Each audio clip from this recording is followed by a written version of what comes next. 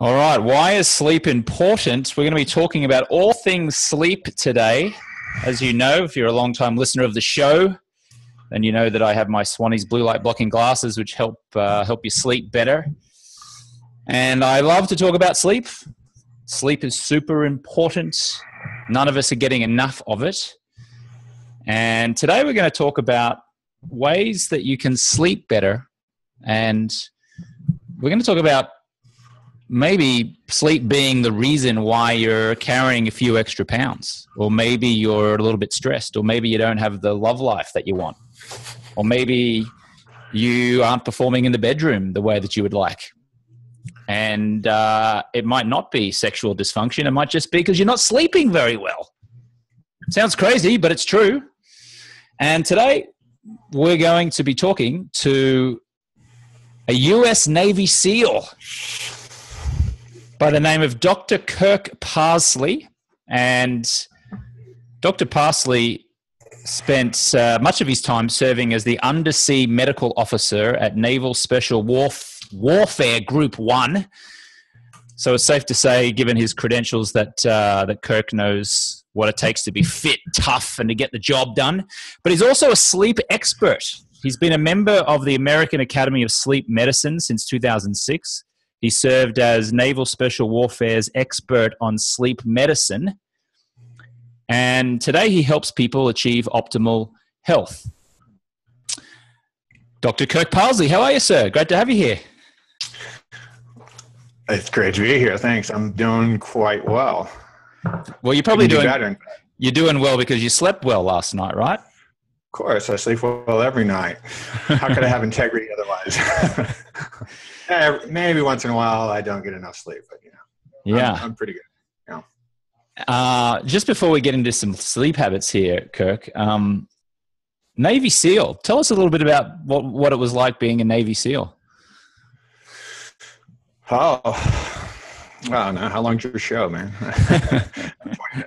um, that, you know, being a, being a Navy SEAL is probably you know the best time of my life, I guess. But um, it was you know it was my early 20s which is probably the best time in any of our lives for a lot of reasons. Uh, i mean it was a great place to spend your 20s um, you know i i got i got paid to do the stuff that everybody else was was paying to go learn how to do. I mean i, I was skydiving i was rock climbing i was scuba diving i was you know whatever racing around in dune buggies driving off-road vehicles blowing stuff up shooting machine guns you know, I, I, was a SEAL during the Clinton administration, so it was different. You know, that's what we call the dry years. We kind of operated more like police officers than we did uh, any real military force. So, um, you know, those are you know kind of the Hollywood days they call them of the SEAL teams, and um, you know, it was, it was, a lot of fun. I mean, obviously, it's really hard work and it's really hard training to get into, and uh, it's even harder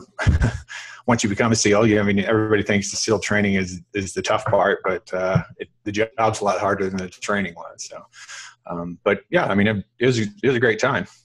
You've seen that movie with Demi Moore, G.I. Jane, back from the '90s. You know, where, where she's the unfortunately I have, yeah. and she she goes through as the only woman trying to you know get through Hell Week, which is this very famous week where they they put you through hell, right, to try don't and get sleep for a week. you don't sleep for a week and ironically, I become a sleep doctor, right? It's like, uh, and how rea- how realistic is that when you see hell? Good. When you see Hell Week portrayed in Hollywood movies like GI Jane and other things like that, how realistic realistic is that?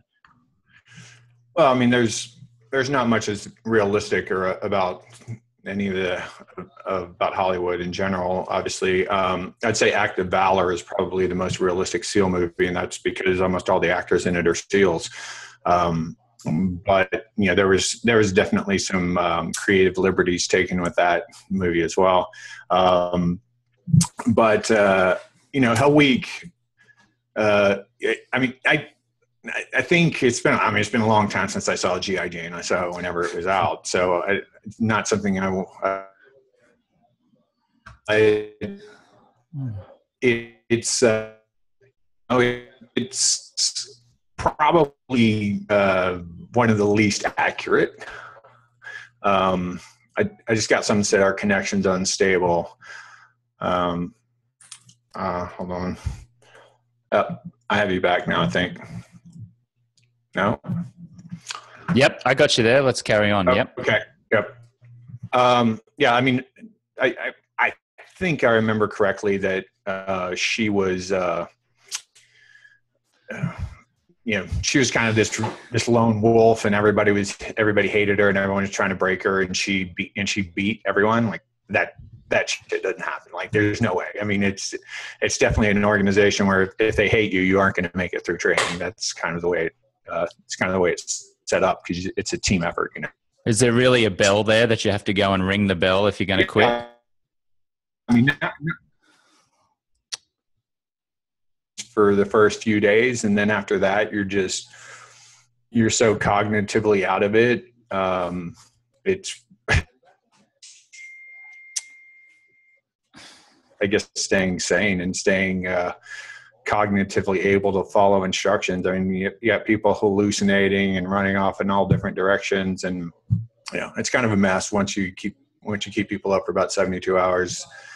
Um, they're pretty useless, especially since especially since you're just like doing physical activities all day, every day. I mean, it, from the time it starts to the time you stop, it's just the only time you're resting is when you're eating, and you know, the rest of the time you're running, paddling, swimming, you know, Mm. dig, digging huge ditches on the beach with paddles, you know, just you know, silly stuff to Mm. you know, get guys keep.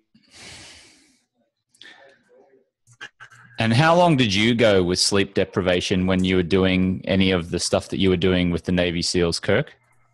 I think I've lost you. You're frozen. Why is okay? well, Uh, let's have a look here.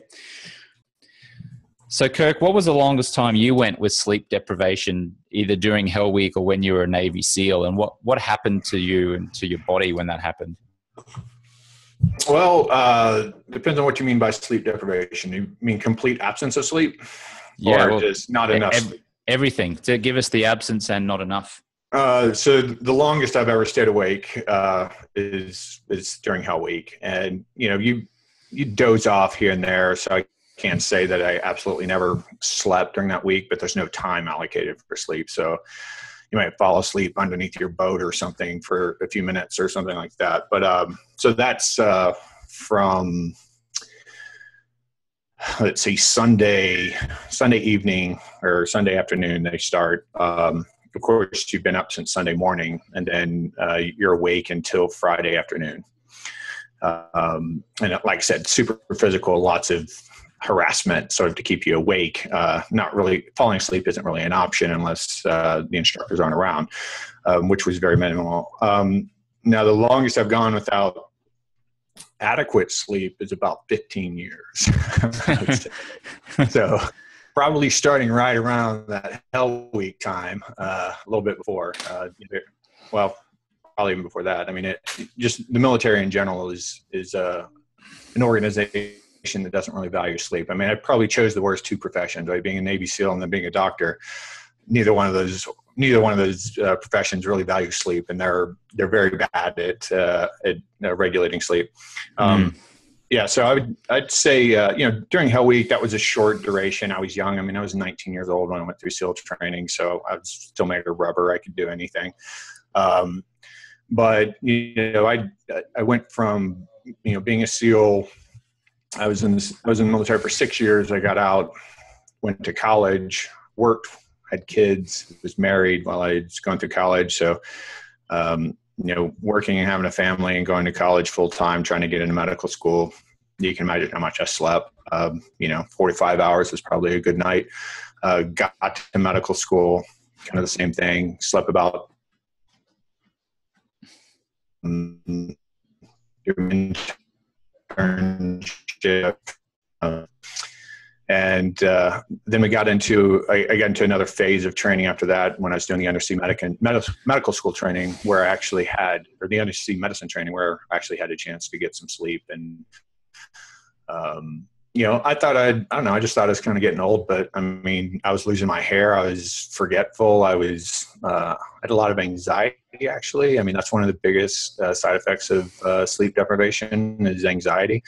Um, through, for very obvious reasons. Once you learn the physiology of sleep, um, I mean, bad body composition, bad athletic performance, you name it. I mean, there, there's there's nothing that sleep doesn't sleep deprivation doesn't make you worse at, and there's nothing that uh, sleeping well doesn't make you better at. Mm. And uh, as I understand it, um, we're sleeping about 20% less than what we slept about 30 years ago. And I think we're sleeping like four hours less a night than what we were sleeping 200 years ago. So, h- how has this happened? Like, how are we progressively like did not taking our sleep seriously? I guess. Yeah. Well, I mean, there we get into heavy philosophical, uh, unsubstantiated, unsubstantiated and unsubstantiable uh, claims here at this point. But um, I, I, mean, I think it makes good sense uh, that sleep deprivation started along the time of industrialization um, and rural electrification, right? So uh, before you had lights at night, it was pretty hard to, you know, to do anything at night. And so we used the sun as our cue. Once we had electric uh, light bulbs, and uh, you know, around that same time is when, at, least in America, that's when it was like, uh, uh you know, Ford was building his motor plants, and, and, you know, we had the railroads, and all we we had all this industry where people could work shifts, and time became money, and you know, if you could work a few more hours, you could make a few more nickels, and if you could make a few more nickels, you could buy, you know, a few more loaves of bread or whatever. Um, in, the, in those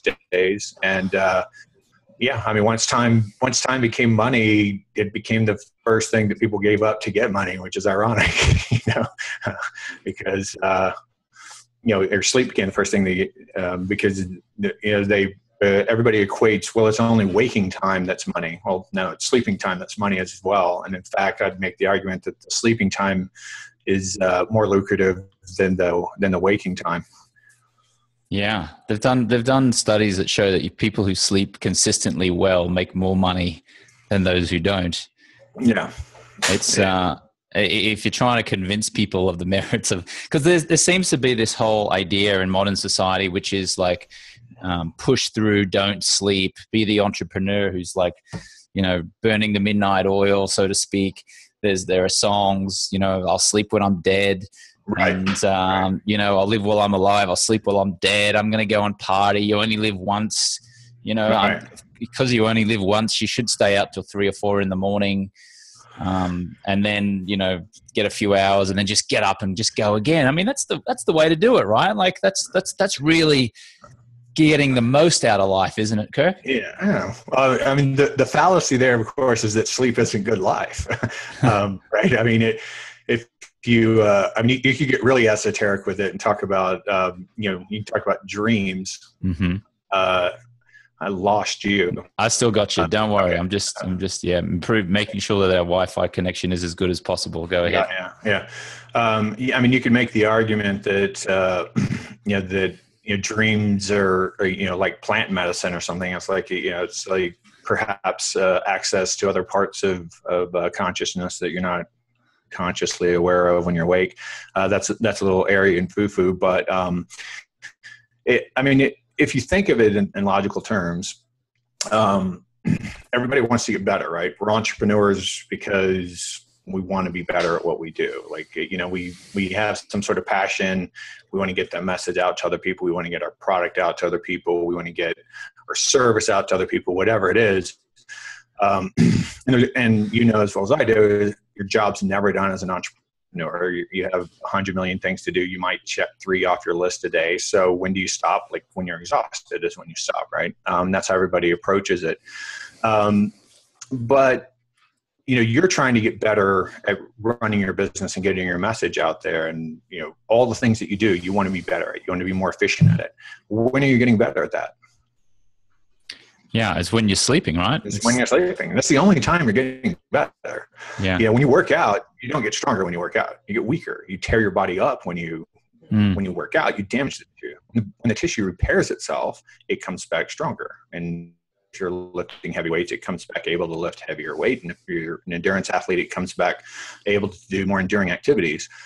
If you're an entrepreneur and you're trying to learn a new skill and you want to bury that into your, you know, something as simple as, you know, you went to a, marketing course and like you're going to you know you have a new elevator pitch or you have like a new slant to your marketing message the way you're going to integrate that into your brain and the way you're going to um, you know tie that into what you already know and what you've already done and come up with the most successful utilization of that new skill is while you're asleep. You might practice it during the day but you're mm. going to actually get better at it while you sleep. Right. that's been proven. You can prove it with naps because you can insert naps in between in between training activities anything and people actually improve about two to three times as fast. Yeah it's um it's kind of insane isn't it? Like all the studies that show that sleep gives you the optimum life. It's it's kind of like the people who say well you know sleep when you're dead and you know i'll just uh, i'll get the most out of life. It really comes down to like the quality of your life doesn't it? Like if right, you right. so you might be saying well you know i'm i'm increasing the quantity of hours that i'm actually awake and therefore getting amazing experiences out of life. Right. But the quality is going to be compromised of your life. Yeah. So try to make that argument with saying um, you're going to reduce your, anxi- your anxiety uh, the uncertainty of being an entrepreneur by being drunk all day. Um, I don't think anybody would consider that a logical argument, right? Right. However, that's pretty much what sleep deprivation is. I mean, there's lots of studies uh, where they equate sleep deprivation to impairment um, on par with such and such alcohol level. Obviously not you're obviously not drunk but you're performing as though you were drunk. So it's like a 0.05 if, right? 0.05 alcohol well, level? that, that's just that's uh, that's being awake 17 hours. So being wow. awake 17 hours straight mm. which is normal fairly normal for everybody right um, that's 0.05 if you miss two hours of sleep so most people need about eight hours of sleep if you're working out or working extra hard you might need slightly more, but you know, it's seven and a half hours plus or minus half an hour. Most people average out around eight. If you're sleeping six hours a night, you do that for 11 hours or 11 days in a row. You perform exactly as though you haven't slept for 24 hours, which is about a 0.08 to 0.1 blood alcohol level. If you do that for 22, 22 days in a row, then you start performing as though you haven't slept for two days, which is like about a 0.15 to a 0.2 blood alcohol level. That's your performance level. And just like a drunk person doesn't know they're drunk, a sleep deprived person will argue with you that they're not sleep deprived. They'll say, "Well, I've told, I'm totally used to this. I've been doing this for, you know, so long. I'm totally adapted to this schedule." Um, mm. It's not until you get them to sleep. It's just like you, it's not until the drunk guy becomes sober does he realize he was drunk. It's not until the sleep deprived person gets that pays back their sleep debt that they go, "Oh my god!" Like the world is so much more fun. The colors are so much brighter. And if if you're really trying to get everything you can out of life, it's the experience out of life that you want, right? Yeah. If you're drunk, are you getting the full experience? Hell no. If you're sleep deprived, you're not getting the full experience either. The colors aren't as bright, the emotions aren't as rich, the you know the successes and you know the successes aren't as high and the failures aren't as deep. I mean, you're it flattens emotion. It flattens emotional stability. It flattens your ambition. It flattens everything cognitively. We're talking to Dr. Kirk Parsley, and uh, Dr. Parsley is actually the creator of an amazing sleep remedy, which I uh, I take regularly myself, and it's actually pretty delicious as well. Uh, it's called Doc Parsley Sleep Remedy. It's a little satchel that you can pour into uh, a nice warm glass of uh, water at the end of the night, uh, and you can check that out at docparsley.com. That's D O C P A R S L E Y dot com. We'll talk a little bit about his his uh, sleep cocktail cocktail in a second. Um, so let's get into now some some practical things, Kirk, that uh, that our listener and our viewer here can actually implement in their life to sleep better. Now we know that it's like her, poor sleep is horrendous for us. Right. What are some what what are I guess what are the things that um, what are some of the things that we can do to improve our sleep? Well, interestingly, uh, you know, most of my private clients are entrepreneurs, um, and it's really uh, surprising to me that the hardest thing that I do when I, when I work with people to optimize their performance, I don't just work with around sleep. I do sleep, nutrition, exercise, stress mitigation, and mindset. But um, sleep is the hardest part to convince people to do. Uh, I mean, I can tell them to eat kale for every meal and exercise three hours a day and meditate three hours a day, and they're fine with it. But as soon as I tell them to sleep eight hours a night, they're like, "Oh no, no, I don't have time to do that." um, so I would say the number one thing in getting good sleep is convincing yourself that you really need sleep. Um, mm best way to convince yourself that you really need sleep is to get really good sleep for a week mm. and then see how you feel. And you'll realize that you feel a hell of a lot better. Life is a lot better. All of your problems don't seem nearly as problematic. All of your weaknesses don't seem nearly as hamstringing as, mm. uh, as, all, as it was when you're sleep deprived. Um, so that's the number one thing. The number two thing it's probably stuff you've talked about uh, on your podcast a billion times is the sleep hygiene aspect. And rather than go through the list of you know making a completely dark room and getting rid of electronics and you know decreasing the photo period and wearing your cool glasses uh, at night and all all those things i break it down into two things right?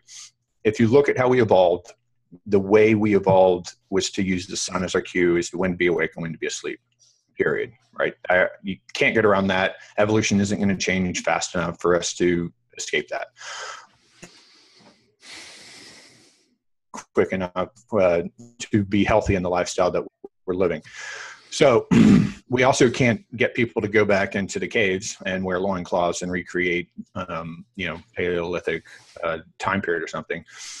So it's important to just understand what sleep what sleep hygiene is aiming to do so when the sun goes down, the blue light goes down, as you I'm sure you talk about all the time. Blue light decreases in the retinal ganglia. That signals the brain. That starts a whole cascade of events. One of those events is the production of melatonin, which decreases stress hormones. Uh, stress hormones keep us awake. Not, they're not just making us stress; they're keeping us awake in proportion to our environment. And another thing it does is it increases GABA in the brain, and GABA then slows down the neocortex. And the neocortex is what we think of when we think of a human brain. That picture of like the you know wrinkly, squiggly gray, right. grayish tan sort of mass part. Right. That part needs to slow down. That's how we interact with the world. That's how we perceive the world. That's how we you know. That's how we move. That's how we mm-hmm. you know, we smell, that's how we touch, and um, maybe not smell technically, um, but that's how we interact with the world. So we have to slow down that, and we have to decrease the light in our eyes. So your glasses are a great example of how you decrease the light in your eyes.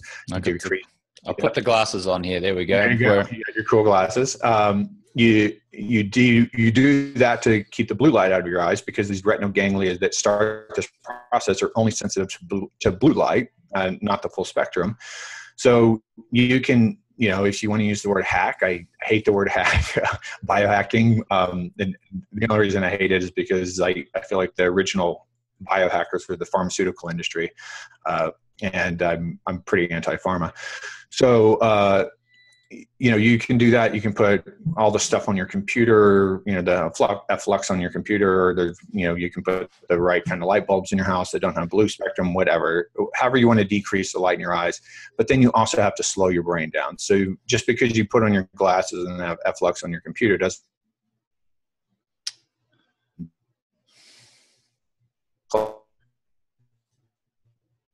work like that either. You have to slow your brain with that with those two bits of information I, if I you know put you in a room by yourself, gave you those two, two, two bits of information, said write me a plan for going to sleep, what do you reckon that would look like? Yeah, people people wouldn't uh, wouldn't want to pay you for your advice. That's for sure. exactly right, because if you if you've ever had kids or if you've ever been a kid, remember there was this protracted getting ready for bed period right? Yeah. What was that about? Yeah, what you want to watch? T- you want to watch? Know, that was about slowing down, slowing down these really active brains of these kids. We're like trying to settle them down. That's what story time's about. That's what the, you know, that's what the bath time is about. The, you know, the bath's dropping their body temperature a little bit, which is, is again, you know, one of sort of the normal, the, one of the normal cues, which you can do as part of your sleep hygiene. But you can go online and look up sleep hygiene.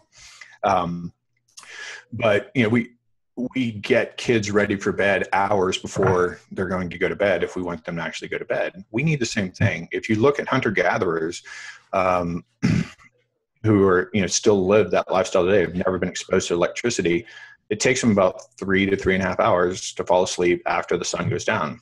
Nobody's going to spend three hours getting ready for bed in America and Australia and Europe and all that stuff. Um, but um, you know that would be the ideal. So we use these little tricks to decrease the light and decrease our stimulation and give ourselves at least a solid hour. And then that really that's all my supplement is so we can completely mm. tie that in and make that like a, a, really short packaged deal is that all my supplement does is concentrate all those things in your brain that your brain would have ordinarily concentrated over the course of three hours. I do it in 30 minutes. Um, but then it's all out of your bloodstream within about three hours. So your brain has to keep mm. the cascades going, mm. which is the whole purpose of the way, the reason I made it the way I did.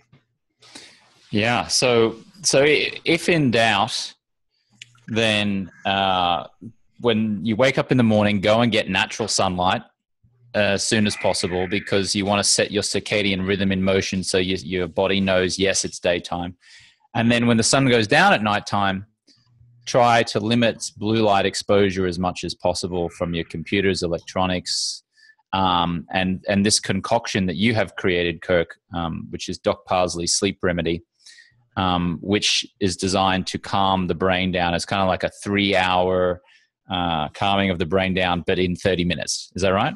Yeah, essentially, that's it. Yeah, and it, and it starts that initial cascade towards um, towards melatonin production. So I know uh, in Australia you don't have uh, Thanksgiving, but over here, you know, we have Thanksgiving, and our tradition around Thanksgiving is really just that we overeat. Um, there's really nothing else to it. Other, than, I guess we overeat with our families, um, but. Uh, you know, over here, there's something called the tryptophan coma. Everybody knows about. After you eat a bunch of turkey, you fall asleep on the couch, and everybody blames it on the tryptophan in the turkey it's not that turkey meat has any excessive amount of tryptophan, and it's just the only meat that we tend to overeat. I mean, people don't usually sit down and eat two pounds of steak. For some reason, you eat two pounds of turkey. Um, you know, the the pathway to produce melatonin is tryptophan, 5-hydroxytryptophan, serotonin, and then melatonin. And so you're just front loading with some tryptophan, yeah, with some tryptophan, this, and then 5-hydroxytryptophan. So we're putting that in there for 5-HTP to become serotonin, you need vitamin D3 and magnesium. So that's in the supplement. And then there's a little bit of melatonin just because your brain would have made a little bit of melatonin by that three hour mark. There's about that much in there, or a little bit more than that because you want to absorb uh, all of it. Uh, and it just initiates everything. And then it has the GABA, of course, that can cross the blood brain barrier, which is the other thing that builds up to slow down the brain. One of the questions I always get um, about uh, is about melatonin. They're always like, "Oh, should I take those melatonin supplements? You know, with five milligrams, ten milligrams, two milligrams." One of the things I noticed in your supplement is that you have micro amounts in there, and in fact, in, in a supplement that we've just brought out as well, it's the same thing: micro amounts of of uh, of melatonin. Can you just explain why this idea that we should pump ourselves full of you know um, supplement melatonin is is actually maybe doing us more harm than good? Yeah, I mean, you know, when you know, as I was saying earlier, I mean, my my sort of real profession is optimizing performance, um, and I I do that by sort of optimizing everything within normal physiologic amounts. So once you go outside of normal physiologic amounts of anything, all, all bets are off. I don't really know what's going to happen. Um, so it's important to realize that from the time the sun goes down until the sun, time the sun comes up, your brain is only going to make about, you know, five, six, maybe up to eight micrograms of melatonin total over a 12 hour period or 14 hour period, depending on the season. Um, so if you take a five milligram melatonin, you know, you can do the math. That's a hell of a lot more, and you're getting it all sort of at once um, it does, it's not all going into your brain, but it's affecting you know your your gut brain as well, and that's where some of the anxiolytic effects and so forth come from. But melatonin is of course a hormone, and what we know about hormones is that when you give exogenous hormones, meaning you take it from the outside and put it into your body, when we give people hormones, they tend to stop producing those hormones because your your body's a smart machine, right? Like, why is it going to make something it doesn't have to make? If it's getting it for free, your body's going to quit making it. We haven't been able to substantiate that with melatonin. Um, and I think that, I mean, there's various reasons why I think that's true, but what we have substantiated is that the receptors for melatonin that, that matter, right? The receptors on the cell that are bringing the melatonin into the cell and actually making that melatonin useful, those do decrease when you take you take more melatonin than your body would ordinarily produce, you decrease those receptors. Now, if you take that away, you don't have as many you don't have enough receptors. So even though you're even if you're still producing a normal amount of uh, normal physiological amount of melatonin you don't have enough receptors to pick it all up. And so your body sees that as a as a deficit. And so now you've created a hormone imbalance. Um, and you can't just affect one hormone. The body you know the, the, first thing to know about medicine is that we don't know anything. Uh, what we think we know is you know half of it's wrong and we only know we only think we know about one one millionth of what's going on at any time anyway. So you know, so there's thousands of hormones, and you know, we, if you take all the intermediates uh, and there, there's thousands of hormones circulating around that are affecting every aspect of your health, man. It's affecting our blood pressure right now. It's affecting how fast we're breathing. It's affecting our cognition. It's affecting everything. Um, our ability to recover and grow and fight off infection. Like all this stuff is, you know, driven by hormones. Um, and so I just I don't think it's a smart idea to go super physiologic on anything. Um, and you know, just because somebody feels good on it uh, doesn't make it a good idea. I mean, if I if I gave you you know cocaine every day, you'd probably feel pretty good on that too. But it doesn't make it a smart idea. What about people who are taking prescription sleep medicines like Xanax, Val- Valium? Yeah. What are those things? What are your thoughts on those ones? Well, thoughts on those that it's a really bad idea. Um, without going without getting too geeky on the science of it, it's a really bad idea because when you are under the influence of those drugs, you are not sleeping. You are unconscious, which is completely different than being asleep.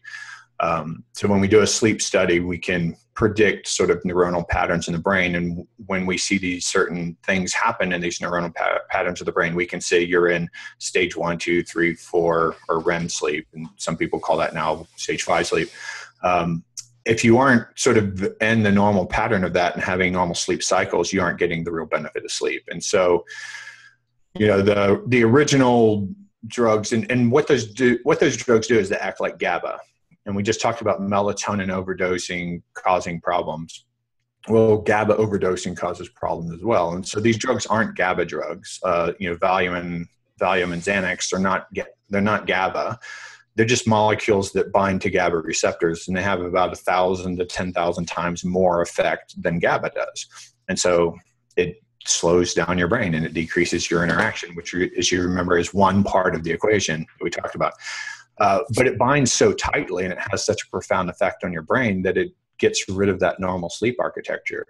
Um, and the, so they came out with these Z drugs that bind, you know, they bind more specifically to certain GABA receptors and they think it makes it better.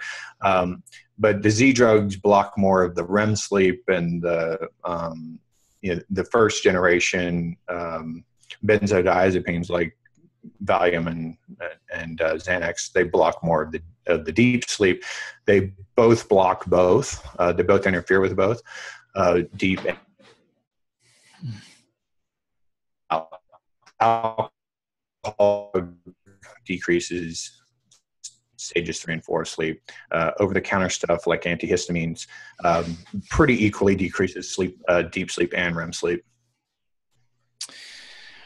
All right, so there we go. Dr. Kirk Parsley, former US Navy SEAL, now a sleep doctor and, uh, health expert. Uh, and if you haven't already checked out uh, Dr. Kirk Parsley's TEDx talk, you can uh, do a search for him. He did a TEDx talk on sleep.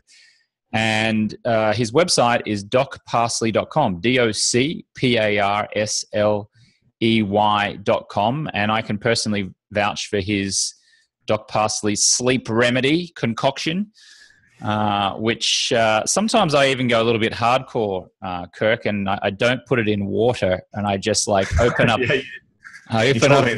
I open up the satchel and I just throw it in, and it gives me. It's kind of like it tastes like a, like um, like a sugar hit, like like one of those old pieces, old lollies back in Australia, or like candy or whatever, where where it's kind of like a like a almost like a sour um, candy, and it's like it gives you like an aftertaste, but it tastes really good, but it also like just just makes you, your head feel like it's in a vice at the same time. It's kind of like, oh, it hurts so good. It hurts so good. You know what I mean?